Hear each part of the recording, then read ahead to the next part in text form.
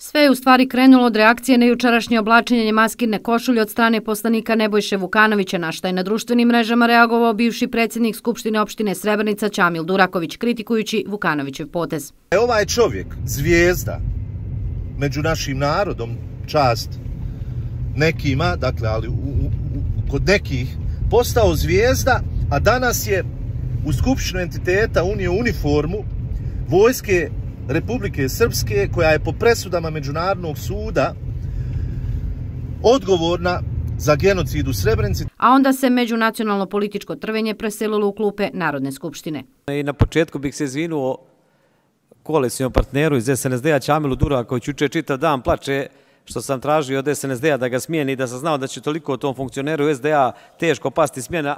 Tačno ne bih narušavao skladne odnose između SNSD-a i SDA bar u Srebrenici, ako su, ako ostalo funkcionišu širom Srpske pa do savjeta ministara. Nakon Vukanovića reagovala je i Begija Smajić, poslanik poslaničke grupe Zajedno za BiH.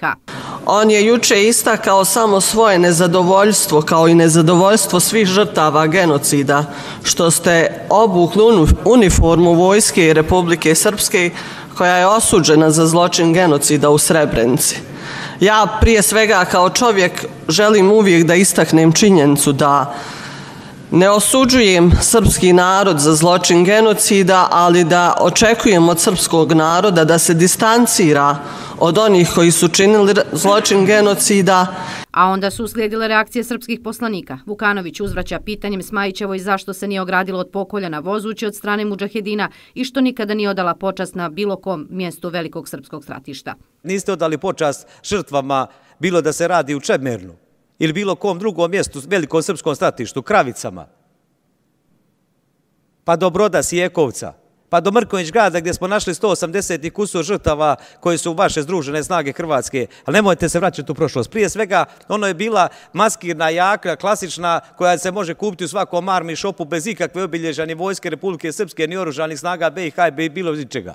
Podpredsjednik Narodne skupštine Republike Srpske Milan Petković očekuje od Begićeve izvinjenje. Ja sam, najlože mogu reći, šokiran izjavom koleginice Begije Smajić, Ovo je za mene dosta jedan od najskandaloznijih izjava u ovoj Narodnoj skupštini.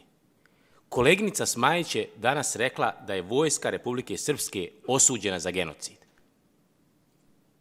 Koleginice Smajić, vi se morate izvinuti vojci Republike Srpske i svim građanima Republike Srpske. Vojska Republike Srpske je oslobodilačka, slobodarska vojska.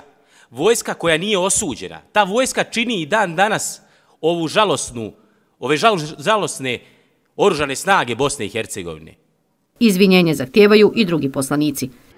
Glorifikacijom svojih žrtava i neuvažavanjem e, žrtava sa druge strane, vi ne činite dobro ni svom narodu.